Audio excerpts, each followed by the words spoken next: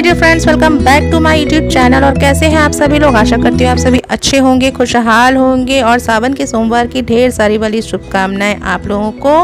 आप लोगों के लिए सावन बहुत ही मंगलमय हो और स्वास्थ्यवर्धक हो क्योंकि कोरोना चल रहा है, इसलिए देखिए मेरे जो बेल लगाई थी ना मैंने, उसमें भी फ्लावर खिल चुके हैं और मैंने बनाया है कॉम्बो पैक। पहला है यहाँ पे साबुदाना खिचड़ी, जिसे मैंने सर्व किया है चटनी और दही के साथ में। और दूसरी रेसिपी है मेरी, यहाँ पे साबुदाने की खीर, जो बहुत डिलीशियस और यमी फ्लेवर है इसका। दोनों ही बहुत अच्छे हैं अपनी अपनी जगह में और सबके यहाँ बनते चले आए हैं। ये मेरी रेसिपी है तो मैं शेयर कर रही हूँ आज आप लोगों के साथ में। देख लेते हैं इंग्रेडिएंट्स यहाँ पे। सबसे पहले देखते हैं साबुदाने खिचड़ी हमने कैसे बनाई थी। यहाँ मैंने लिया है सोक्ड 250 ग्राम के करीब साबुदाना है ये। और ये मैंने दो से तीन घंटे के लिए भिगा दिया था। भुनी हुई मूंगफली है।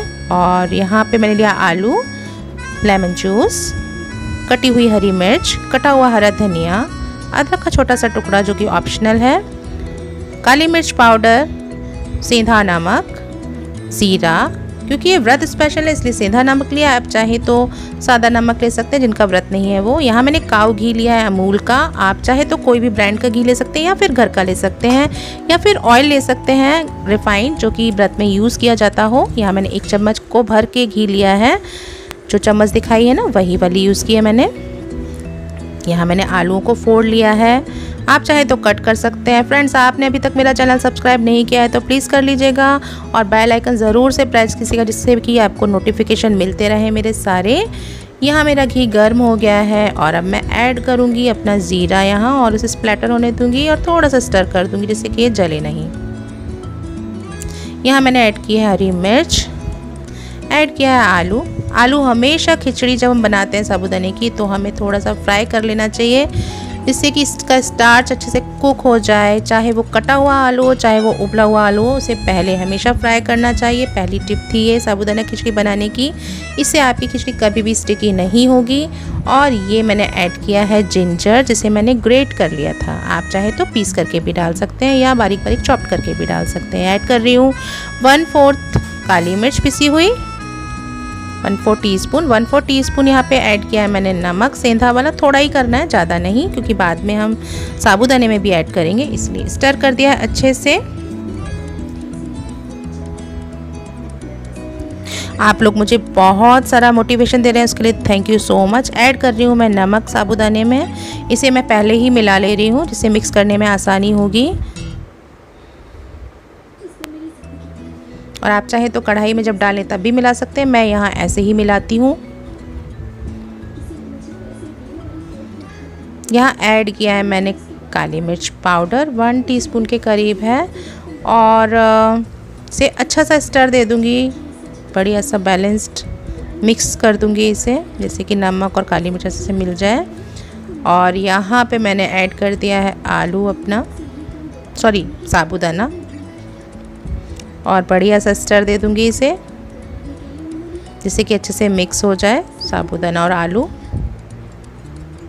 साबुदाना भी होता है स्टार्ची और आलू भी होता है स्टार्ची तो यही कारण होता है हमारी जो खिचड़ी है ना, कई बार चिपक जाती है ठंडी होने के बाद, लेकिन अगर इस प्रोसेस से बनाएँगे तो वो कभी भी नहीं चिपकेगी। आप मेरे साथ लास्ट तक बने रहिएगा, जिससे कि मैं एक और इंग्रेडिएंट बताऊँगी, जिससे कि आपकी खिचड़ी कभी भी नहीं चिपकेगी। जब वो ठंडी हो जाए तब, या आप चाहे जितनी बार गर्म करें तब। यहाँ मैंने ऐड किया है शुगर आधा चम्मच के करीब। इसे मीठी नहीं होगी टेस्ट बैलेंस होगा। बट अगर आप इसको अवॉइड करना चाहें तो अवॉइड कर सकते हैं। लेमन जूस ऐड कर रही हूँ अब मैं यहाँ पे, और गैस कर दूँगी बंद, क्योंकि अब मैं गार्निशिंग करूँगी और गार्निशिंग जब हम करते हैं तो गैस हमारी बंद होनी चाहिए, जिससे कि हमारे जो फ्लेवर हैं ओवर कुक ना हो जाए और टेक्सचर भी नॉर्मल रहे उसका, जो कि हमें चाहिए और स्वाद भी अच्छा रहे। ये देखिए, ये अभी इतनी खिली खिली और ये रख देने के बाद भी खिली खिली रहेगी। आप चाहे इसे कितनी भी देर में खाएँगे खिली खिली ही रहने वाली है। मैंने ऐड कर दिया पीनट और ग्रीन कोरिएंडर लीव्स और अच्छा सा स्टर दे दूँगी इसे। जो पीनट होते हैं हमारे बहुत हेल्दी होते हैं, प्रोटीन रिच होते हैं। महाराष्ट्र में से शेंग दाना भी कहते हैं और ये शेंग दाना का पाउडर, यानी मूंगफली का पाउडर। यही था मेरा इंग्रेडिएंट जो मैं लास्ट में ऐड करने वाली हूँ। आप इसे अवॉइड भी कर सकते हैं, लेकिन आपको अगर खिचड़ी स्वादिष्ट और खिली खिली बनानी है और महाराष्ट्रियन स्टाइल में बनानी है तो ये मस्ट इंक्लूड इंग्रेडिएंट है। तो प्लीज़ ट्राई कीजिएगा। चलिए, अब हम देख लेते हैं अपनी दूसरी रेसिपी जिसके लिए मैं बना लिए हैं मैंने साबुदाना। अगेन सोक्ड है। और यहाँ मैंने लिए काजू, थोड़े से गुलाब के पत्ते, यहाँ लिए गुलाब का एसेंस मतलब रोज़ एसेंस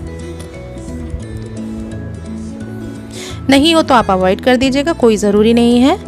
और इलायची ली है, दो से चार।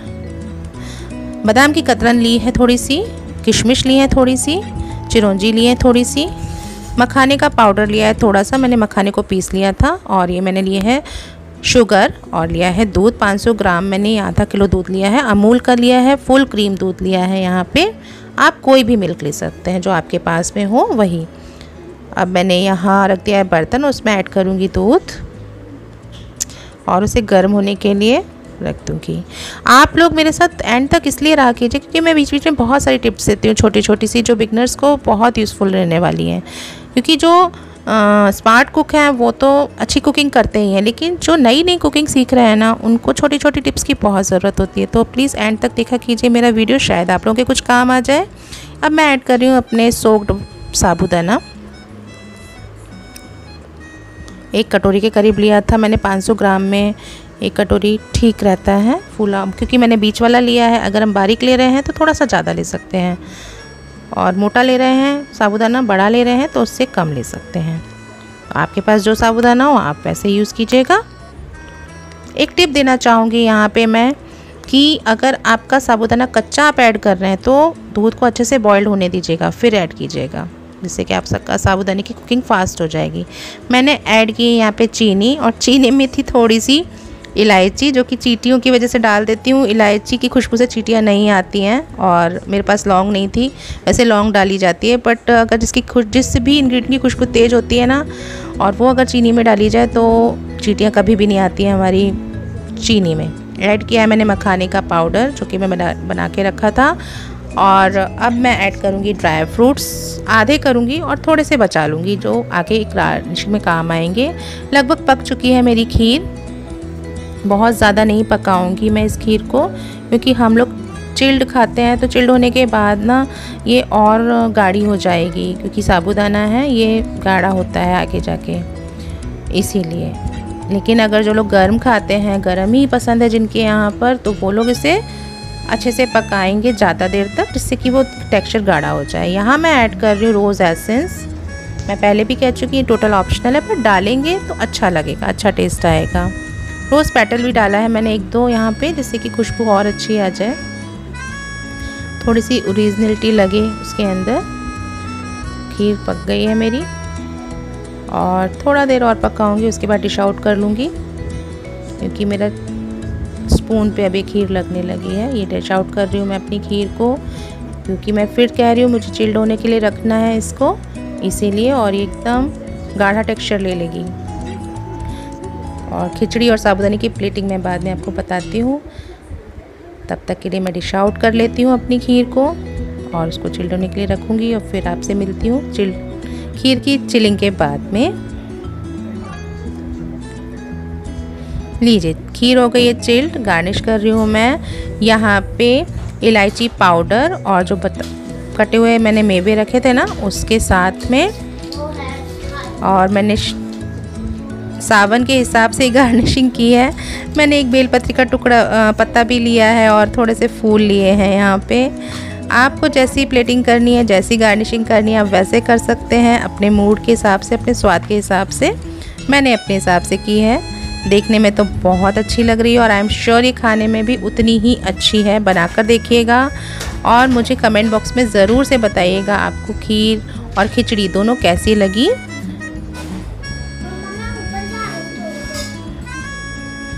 देखिए, कितनी अच्छी लग रही है मेरी खिचड़ी भी।